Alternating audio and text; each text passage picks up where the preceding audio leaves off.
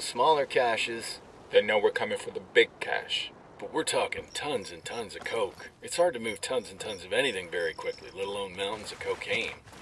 If there's one thing we know about the cartel, there's almost nothing they can't do with cocaine. If they want to move a mountain of coke without anybody seeing it, Sending our intel on enemy positions.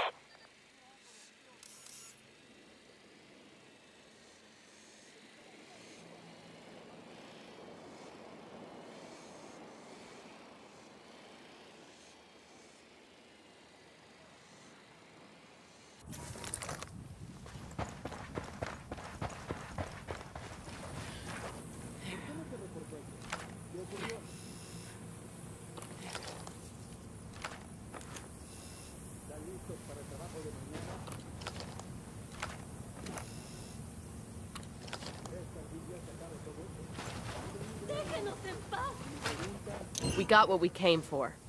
Sending a location of the food truck to the rebels for pickup.